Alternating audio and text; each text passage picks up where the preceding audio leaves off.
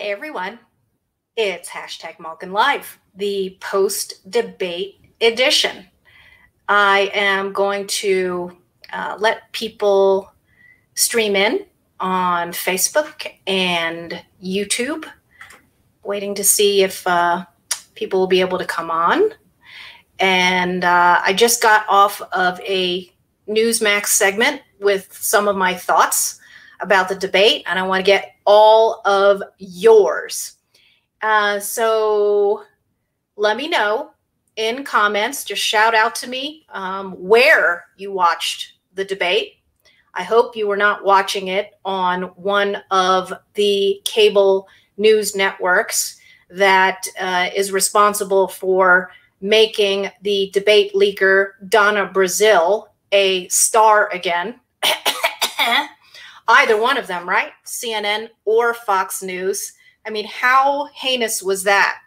Donna Brazile, Hillary's debate leaker, CNN's leftovers, doing debate commentary on Fox News. What is that?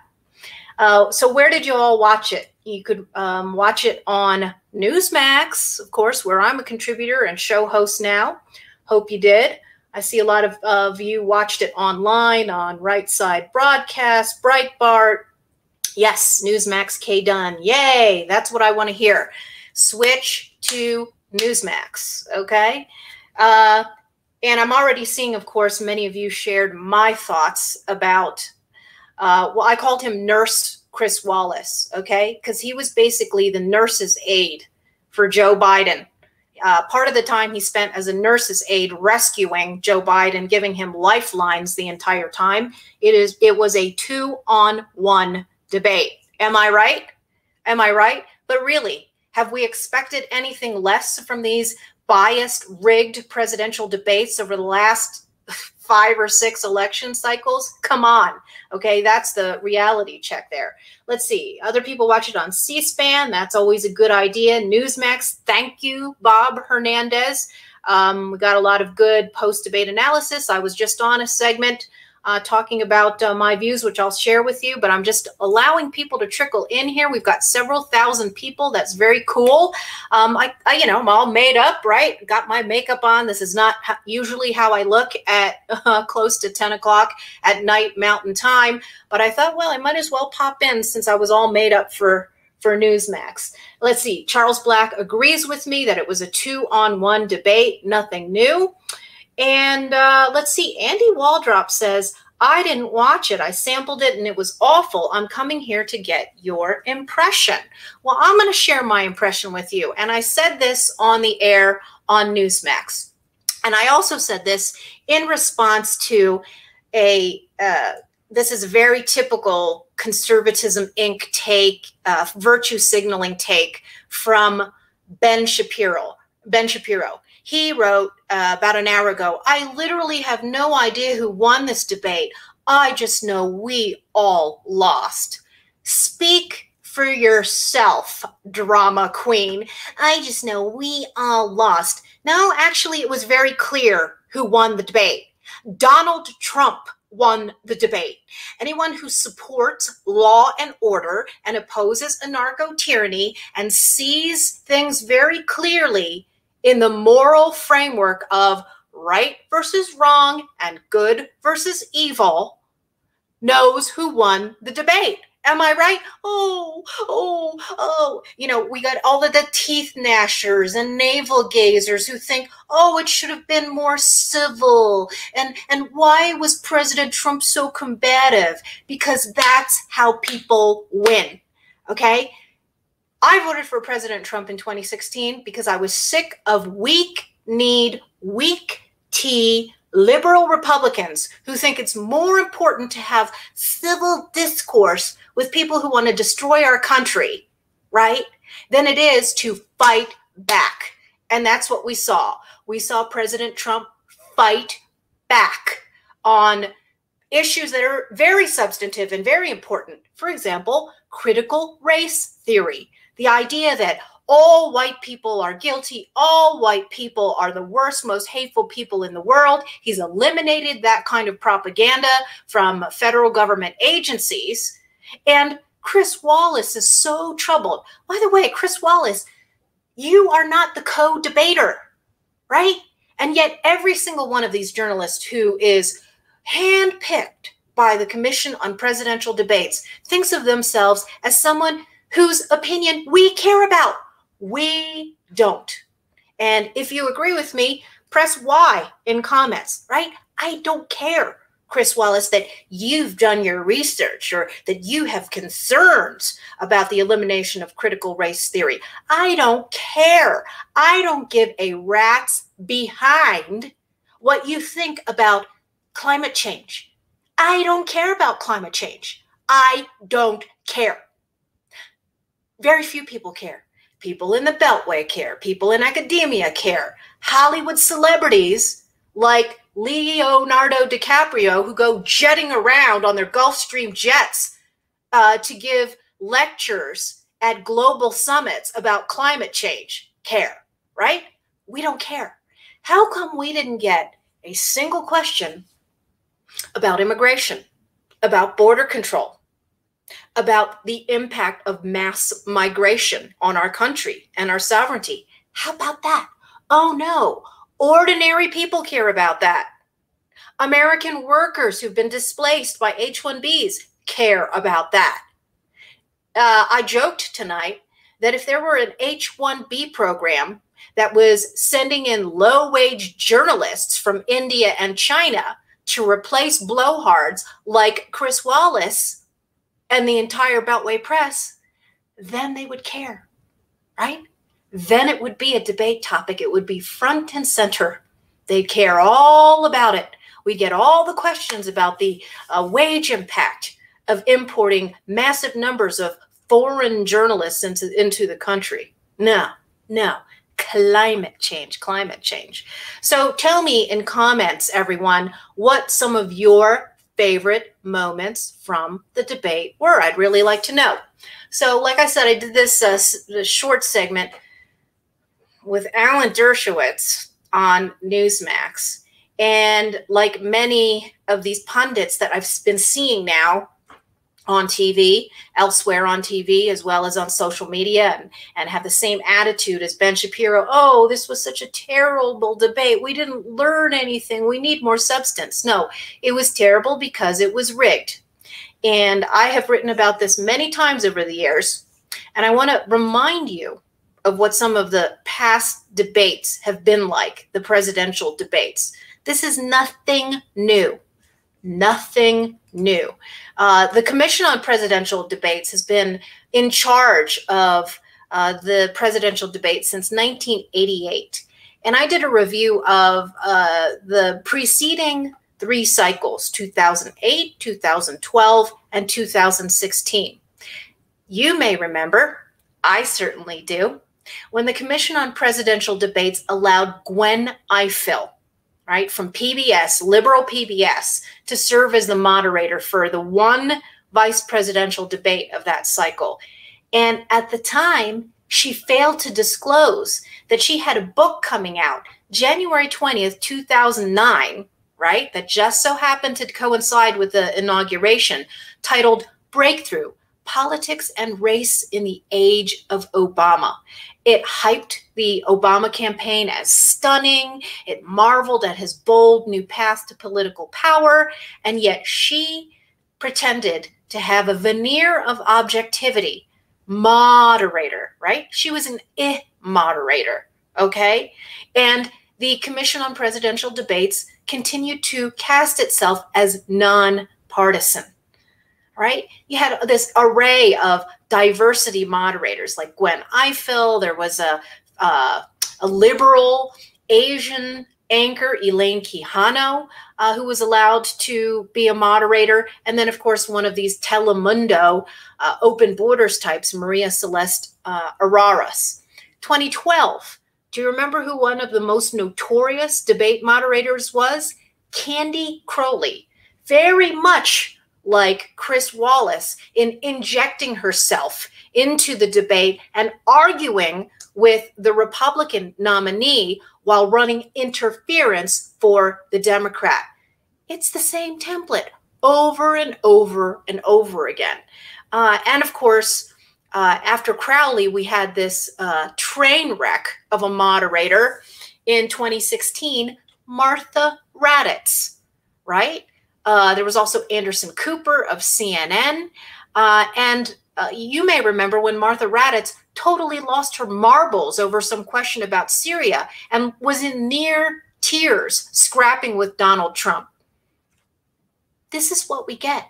Okay. And what are you supposed to do if you're the Republican nominee, having to debate not only the Democrat opponent, but one or two or three liberals, Democrat operatives posing as journalists? You have to fight back. You have to get down and dirty. And that's what this president did tonight. And I applauded every moment.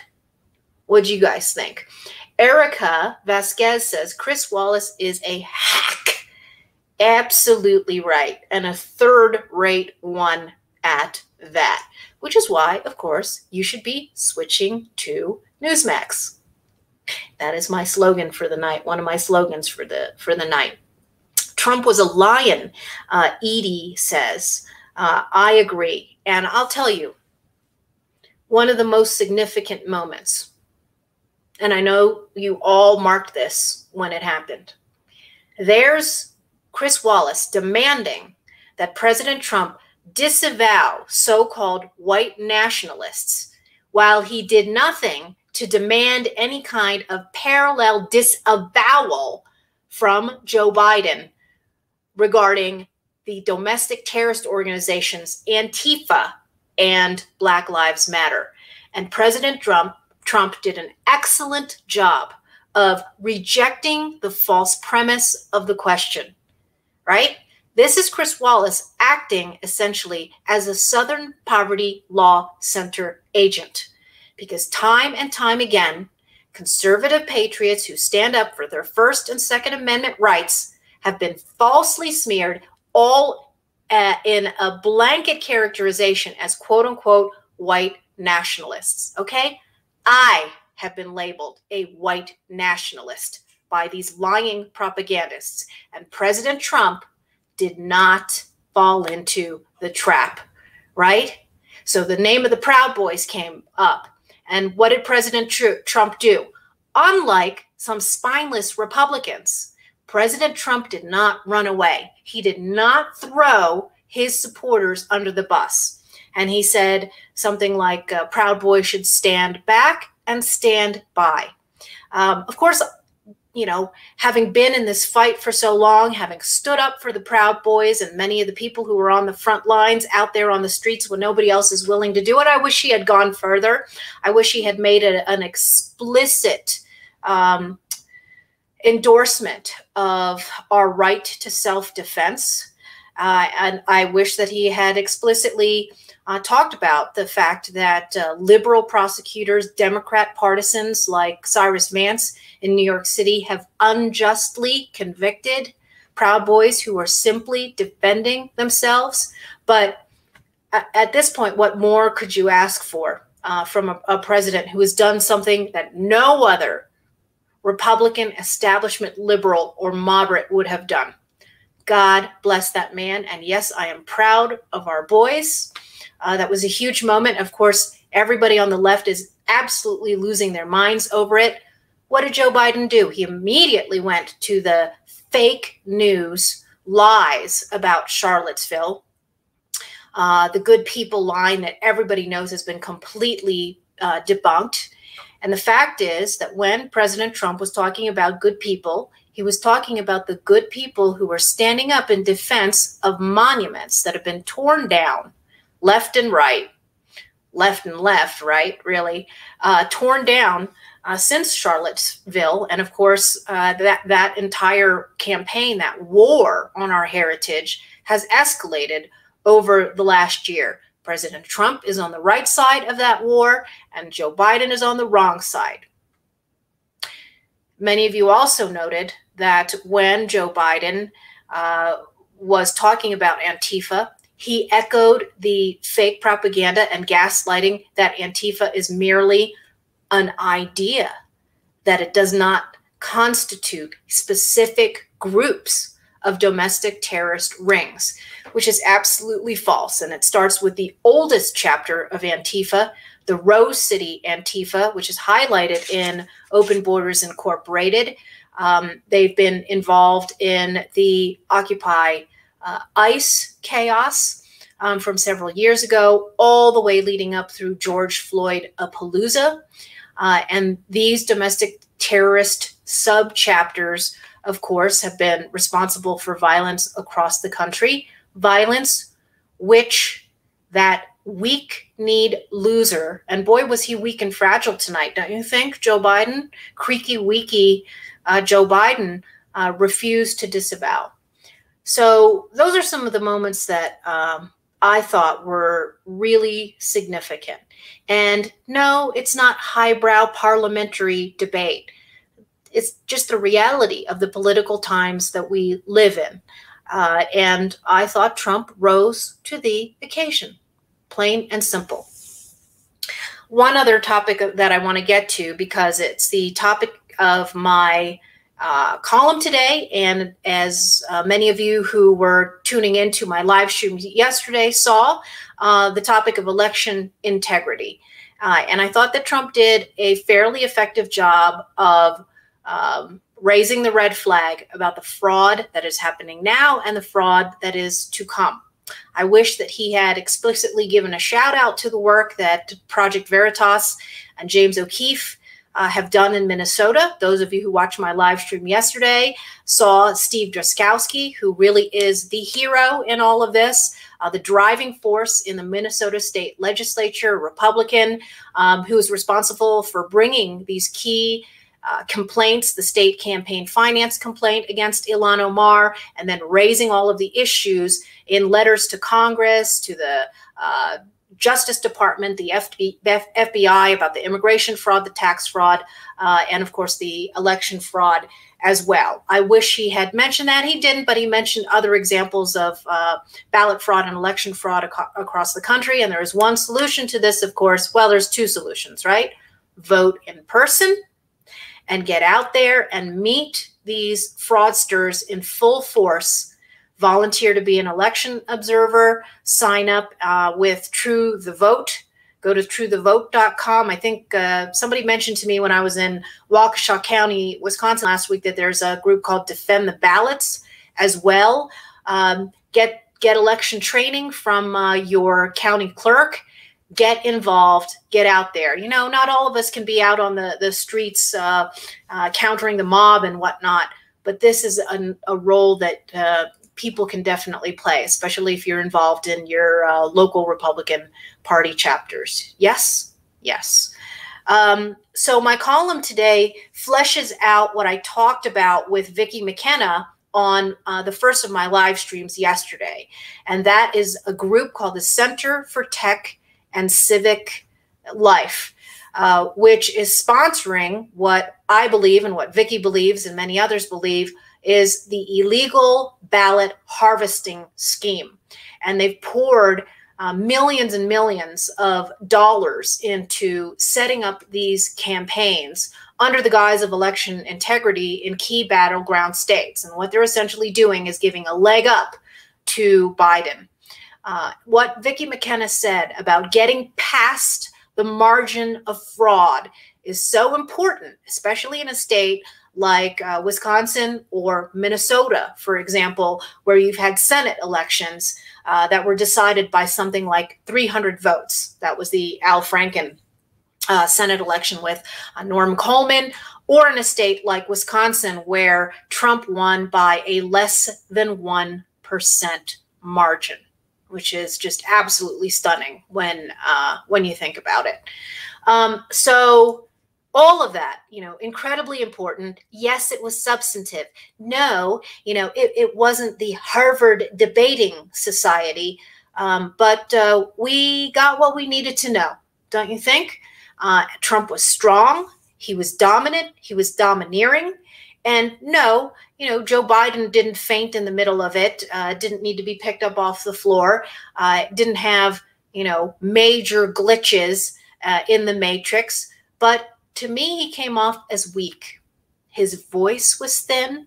He was looking down at the ground. And, you know, I know it's a joke to talk about uh, body language experts or, or whatnot, but optically, Trump looked strong and Joe Biden looked weak, weak. Uh, and you know that uh, that uh, Trump really got under his skin when he reeled off all of the sins of Hunter Biden. Every word of it true. And look what happened. Uh, Trump went for the jugular. Biden couldn't defend his corruptocrat son. Now, many of you remember, of course, that all of that is old hat. That's all territory that I covered in my chapter on the Bidens in Culture of Corruption back in 2009. Um, and it is still relevant, more relevant today than ever. But what happened? Trump was in the middle of pummeling Joe Biden over it. And here comes Nurse Chris Wallace to provide more aid and crutches to help Joe Biden and hand him another lifeline. I can't remember if that was the exact moment, but you know, there was a moment where Trump was just scoring over and over and over again. And here comes Chris Wallace to say, okay, now let's talk about climate change. Let's talk about climate change. Let's not. let's not. So let's see. I'm going to see if there's been any announcement about who the next debate moderators are and when that debate is, because I believe it's scheduled for October 8th. Let me see. Let me bring this up for you. So, okay, there's a vice presidential debate on August uh, October 7th in Utah. Do they have the moderator announced for that yet?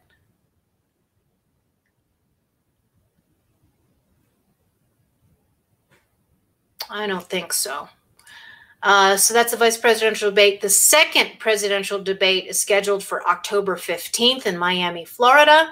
And then the third presidential debate is October 26th, uh, 22nd, sorry, in Nashville, Tennessee. Um,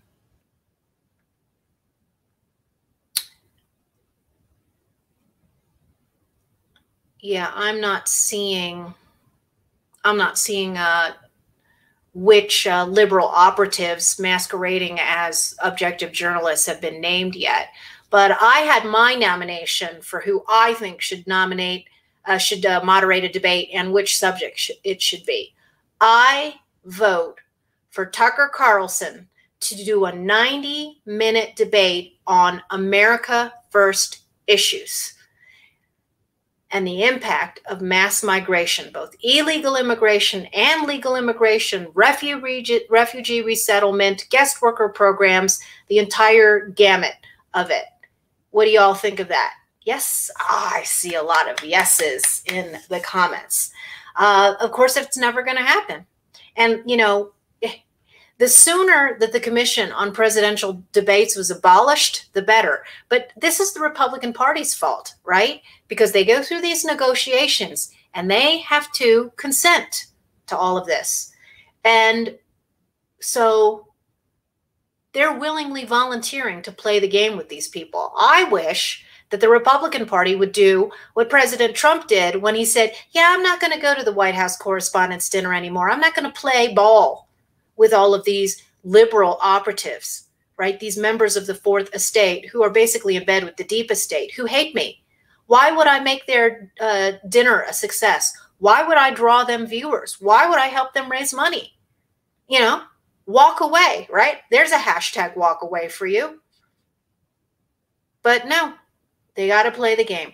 I see a lot of votes for uh, Tucker and an immigration mass migration debate. Well, I put it out there in a hashtag on uh, Twitter. So if you're using Twitter, go retweet that tweet. Um, I think it would be a fantastic idea. Uh, it won't happen, but I'd love it. Somebody says Lou Dobbs as well. Well, that would be super cool, right? To actually have a panel of moderators who know what the hell they're talking about, right? And who are equally as hard on the Republican establishment as they are on the Democrat establishment. nobody has nominated me, but I would be happy to be a debate moderator. um, so, Oh, well, that's very nice. Michael Corner says Carlson Malkin 2024 or Malkin Carlson 2024. Yeah, see, the problem with that is I hate DC. I mean, I'd consider running for mayor of Colorado Springs or even governor of Colorado, but anything that would send me back to DC, not gonna do it. Not gonna do it. Um, but that's very flattering. I would like to be able to go fishing with Tucker Carlson sometime. Uh, so that would be good. I hope I don't have to wait till 2024 to, to do that. Oh, thank you. People are now saying because I volunteered myself as a moderator that they think that I would be great. Thank you, William Gaynor. Uh, let's see. Oh, somebody has my vote for, I guess, uh, Colorado Springs mayor or uh, governor of Colorado. Yeah, well, I'm suing our governor still. That's ongoing. Our suit against uh, Emperor Jared Polis on the mask mandate and all of the anti-lockdown power grabs. And um, uh, by the way, we are also moving forward with our lawsuit against the city of Denver uh, and other Denver officials over the fiasco with our Back the Blue rally. Um, Wallace was biased. Agree. Yes, Mark. I just got done a basically a 30 minute rant on that. Um, and he was not just biased, he was rude, half the time, like I said, he was a nurse's aide for Joe Biden, and the other half of the time he was a school marm. That's what I called him, a school marm, trying to wrap the knuckles of, of President Trump, always interrupting uh, uh, President Trump when he was in the middle of the thought, and then whining if President Trump interrupted Biden, but then sitting quiet as a church mouse uh, if Biden interrupted Trump. The whole thing's such a joke. It's such kabuki theater, don't you think? But we had to watch it. I mean, it's a historic moment, right? No, it, it, it's not just some sort of obligatory, perfunctory thing. It was a part of history, and I enjoyed it. I enjoyed it. I'm not going to be one of these pretend virtue signalers saying, oh, it's so terrible, the state of discourse in America. Why couldn't we get a, a more a substantive debate? I'll tell you something else, and some of you may disagree with me on this. Okay. But I keep seeing this guy Joe Rogan's name mentioned. Oh, why can't we have a five hour debate with Joe Rogan? Joe Rogan is some liberal celebrity who now is uh, you know somebody who lots of these con Inc. type people just like seek his approbation or something like that. And I know even President Trump said, "Sure, I'll do a Joe Rogan debate." I mean, he'll do a debate anywhere, but like, why? Why? What? What? What? what what does Joe Rogan know about America First issues and, and policies? Okay, I understand he like he's very physically fit and he trains, right? Okay, but like what what is that? Right? You say that you want substantive to substantive debate, and then you're like you want to go with some who cares? I don't care. I just I, I don't know. Tell me what you think. Maybe I'm missing something. Uh, hater on Joe Rogan. Good luck with that. It's not that I hate him. I just I don't really care. I don't I don't know him. I don't listen to him. Uh, there's a gazillion other people I'd rather have moderate uh, a debate on issues that I care about, who actually know about things I care about. Um, and that's why I nominate Tucker. I nominate Tucker for a debate. Joe Rogan has a big audience. Yeah, well, you know, a lot of people do. Too much of a circus. Um, Joe Rogan University says Michelle is a dumb bozo. Well, you really won me over there. Thanks. I learned a lot from Joe Rogan University. Yeah, and didn't that guy come out for Bernie Sanders anyway? So, like, we already have all of these liberal journalists acting as so called moderators. Like, why is that going to be any different? Just saying. Joe Rogan would be entertaining. All right. Yep. Um, okay. So uh what else? I have about 10 more minutes left. So if any of you have any other questions, observations, I said my piece about all that. Somebody says Jim Lehrer was a good moderator. Eh, you know, that was a totally different era and time back then, wasn't it? Um, I mean, I remember all the way back to, uh, you know, when you had these uh, liberal journalists like Lisa Myers going on the attack against uh, uh, Republicans and, and even in the in the Republican primary debates as well. Um, it's been a joke forever. I think that's what we have to remember about the the context of uh, the Commission on Presidential uh, Debate run circuses. Yeah. Cleveland won tonight, Mary Kay Borden says. That is an interesting observation. And of course, beforehand, there was a lot of gearing up of uh, all of the agitation groups, including the Sunrise Movement, which I wrote about last week. I noticed that they were front and center. And uh, there was a huge uh, mobilization of police force and um, uh, troops, National Guard troops. Uh, they had a restricted zone around the presidential debate, and it, it, looks like things were kept under control. Let's see, what is it? Past midnight now, Eastern time, and and it looks like things were mostly peaceful because uh, law enforcement was out on the streets. So I agree with that, Mary. Yes, it was a win for Cleveland, and um,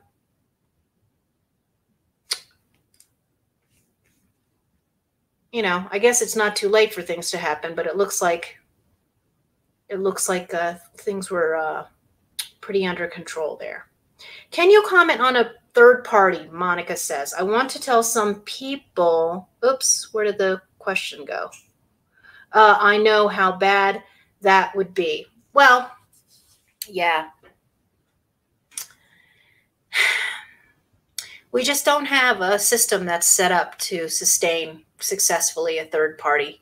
And a lot of it just has to do with um, lack of funding.